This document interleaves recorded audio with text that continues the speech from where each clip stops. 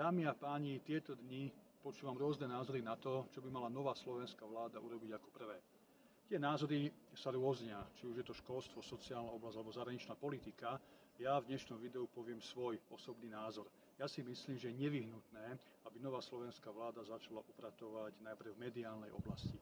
A začať musí vo verejnoprávnej inštitúcii, rozhlase a televízii Slovenska.